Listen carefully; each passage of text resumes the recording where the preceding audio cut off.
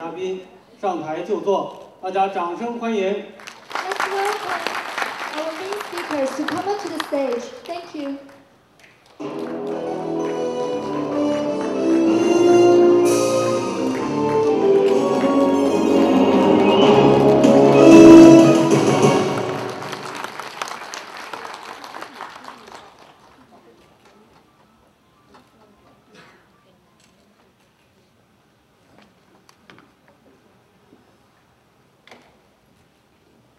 各位朋友，这四位主讲嘉宾呢，呃，是我们本次会议隆重邀请的，他们将在第二届北美华人财富高峰论坛上做主旨演讲。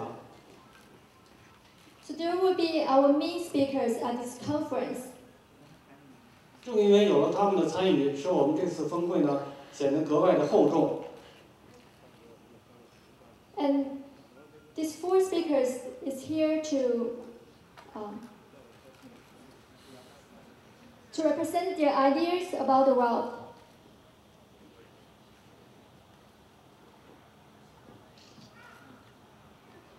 韦真先生， Our conference chairman, Mr. Wei Zhentang. 呃，接下来这位呢是着名的经济学家徐天庆教授。 Well-known economics, Mr. Daniel Xu. 这一位呢是 CIBC 副总裁 John Patterson。Welcome。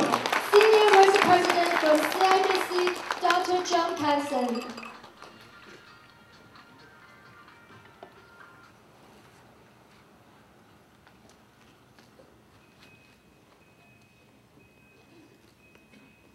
进取。继2006年首届北美华人财富高峰论坛之后，我们在此举行第二届北美华人财富高峰论坛，是时代的要求，更是历史的必然。 To inaugurate the new year, we hold this World Summit to recall the past and also to look to the future. In 2006, we held the first North American Chinese World Summit in Toronto as a form of wealth education and investing. Today, we have the second summit to answer the call of a new era. It is a necessary evolution in the course of financial history. 众所周知，多事之秋的2008年，席卷全球的金融海啸，使世界经济蒙受巨大的冲击，给我们的生活也带来难以想见的困惑与危机。在世界经济走向低谷、财富缩水、人心惶惑茫然之时，财富峰会更显积极意义和现实价值。The financial storm has engulfed the globe, has made a tremendous impact on the economy of the world, and brought an imaginary turmoil and crisis to our life.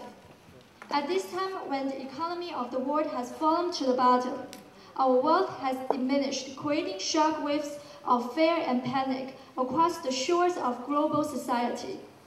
Our second North American Chinese Wealth Summit is of extraordinary significance and value in today's economic climate. 本次财富峰会的主办方是唐伟珍财富俱乐部，协办方是家中企业家协会，特别协办方为全球化合作基金会。让我们用热烈的掌声对他们表示衷心的感谢。尤其是对远道而来的全球化合作基金会主席孙放先生表示最诚挚的谢意和最热情的欢迎。孙主席的莅临使会议具有了全球化多极性的色彩，从而也推动此次会议跃上更广阔。Gathering together makes this conference more interactive.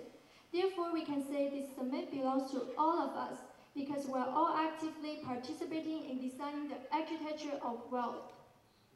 本次峰会也可以说是一次非常时期的非常会议。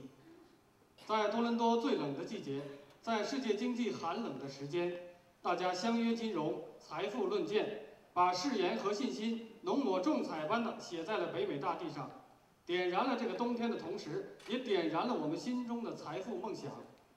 在这个特殊时期，唐伟珍金融集团和财富俱乐部依然有所作为，举办第二届财富峰会。既是对第一届峰会之后近三年来自身金融实践的总结。